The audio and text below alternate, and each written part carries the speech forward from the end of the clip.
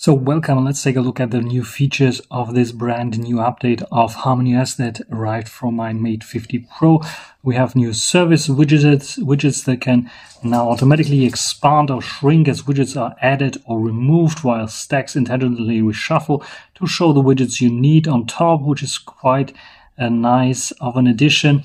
We have multi-window support, better safe split screen options. So we know this already think I had one open already somewhere here, but let's let's go just to the browser, for example, and let's check out here one website, for example, and uh, we open up another application, just like, for example, the files application. We can do split screen, and we have a new option here. You can see the three dots there, and if I click on them, they allow me allow me to save this combo. I can also flip top to bottom with this option, but I can save this combo and this one will be saved to the home screen as you can see here.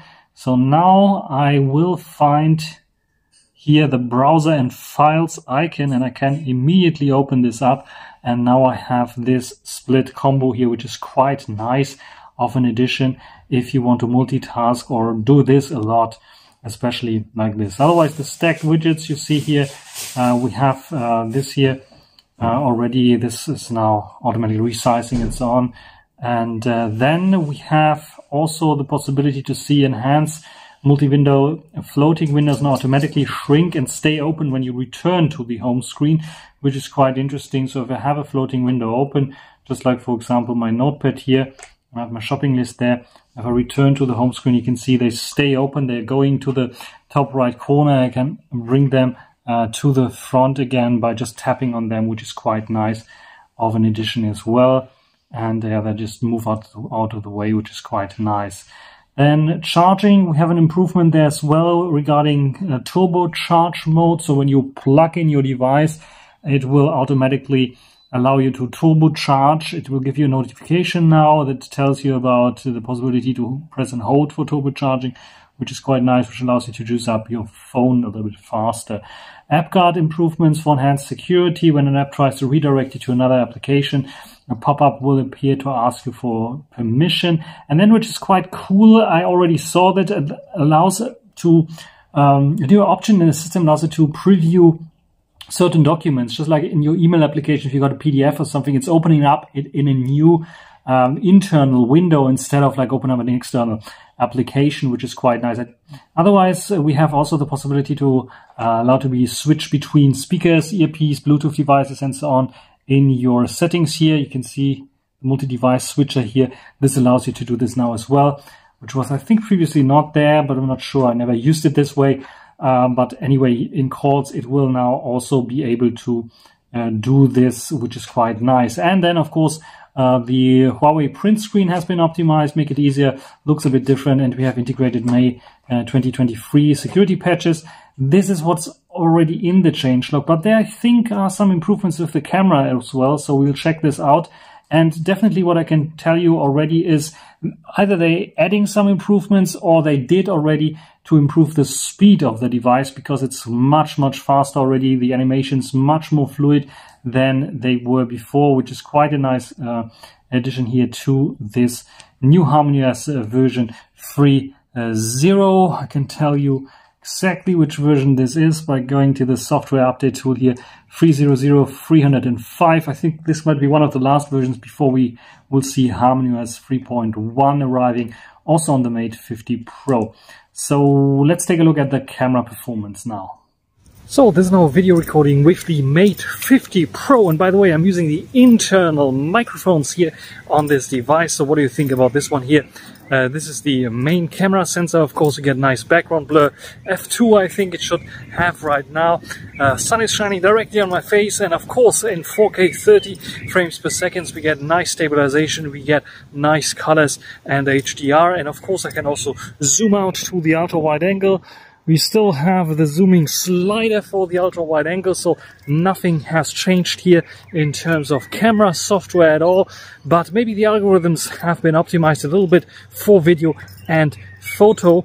But uh, yeah, it's a rumor, but we will see if this is still working fine. Otherwise, Mate 50 Pro, still a great device. What do you think about the video quality here?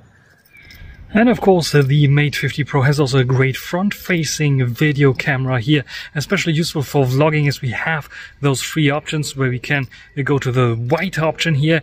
We can also go to 0.8 times, which is using by default, and we can go to 1 times, which is also pretty cool. We don't have autofocus here, but we have 4K, uh, 30 frames per second recording, uh, which is quite nice. Stabilization is nice, and HDR as well, as you can see here. So a really, really good vlogging cam. What do you think? Think about this one here? So let's take a look at the photos. Uh, there are not so many surprises, a little bit of improvements here and there, but as the changelog did not state anything, I don't see much of a changes. This one here with the main camera, as you can see, good HDR, and to the sides, yeah, it's getting a little bit soft here and there. Depends on the aperture, of course. And uh, yeah, one of the highlights is still the macro capabilities, which are quite fine. And I think they refined a little bit here in terms of the sharpening algorithm because I cannot um, yeah, remember it being so sharp, especially on the little details here and not looking too artificial. And the ultra wide angle, I think, stayed pretty much the same, a bit soft towards the sides, uh, decent amount of sharpening applied here, also good amount of HDR, nothing too surprised or to surprise uh, to surprise me here. The three and a half times, um, no issues at all. The same goes with the 10 times. I think it's the same kind of algorithm. Maybe they tuned it a little bit down in terms of like how aggressive the um, processing is here to get everything running again. So it's a bit less uh, over processed look that we have here. Selfies look fine, good HDR with the selfie cam.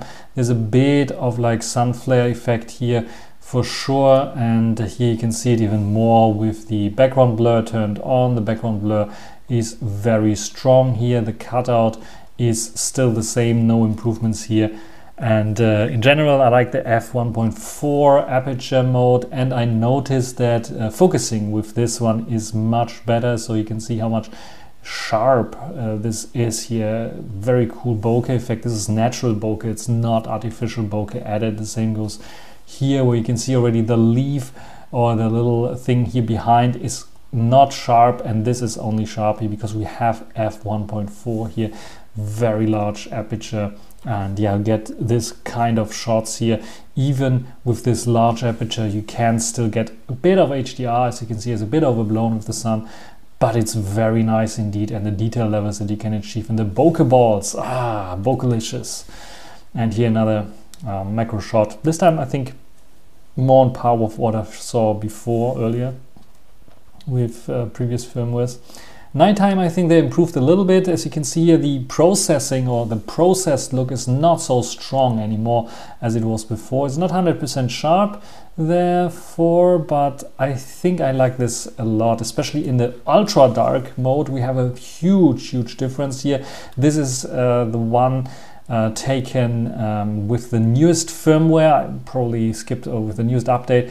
And here we have to, for comparison, same kind of uh, thing when I was doing my comparison with the Galaxy S23 Ultra. Same conditions, and you can see, yes, it is sharp, nice, but it's way darker, way uh, much tuned down. And if I zoom in a little bit more you can see there are some details there.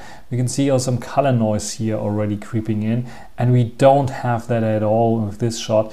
It is maybe a tad softer here and there um, but it's a fantastic shot. We don't have this color noise here and it's a bit soft there on the outside but we have a nice pattern here as well. So very great. Um, yeah improvement here in the super low light shot which really is you can just forget about nighttime. It is making daylight out of it. It looks like a daylight it could be daylight shot which is like super super awesome. And yeah i couldn't see the tools at all the all toolbox at all which is uh, fantastic. So overall i see minor improvements here and there and especially the ultra low light shot i think i think i see most of the improvements here. What do you think about the cameras on the mate 50 pro